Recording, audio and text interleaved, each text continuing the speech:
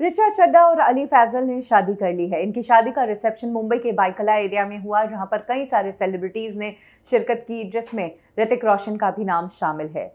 जो लोग इस शादी में हाजिर नहीं थे, उन्होंने भी सोशल मीडिया के ज़रिए रिचा और अली को शादी की बधाइयाँ दी।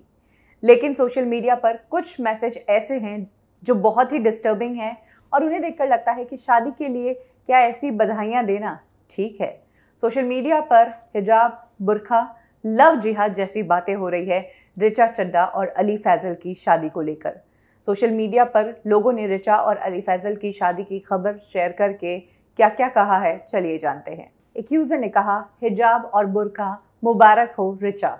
वहीं एक और यूज़र ने कहा कि क्या ये लव जिहाद है या फिर कोई साजिश? तो किसी ने कहा, रिचा को मोमिन बनाकर ले ही गए अली। तो कुछ लोगों ने इस पर आपत्ति जताई है। कुछ ने कहा है कि क्या अब इंसान को अपनी मर्ज़ी से, जिससे वो प्यार करते हैं उससे शादी करने की भी इजाज़त नहीं। अगर कोई हिंदू लड़की मुसलमान लड़के से प्यार करती है, उसे ऐसी ख़राब नज़र से क्यों देखा जाता है?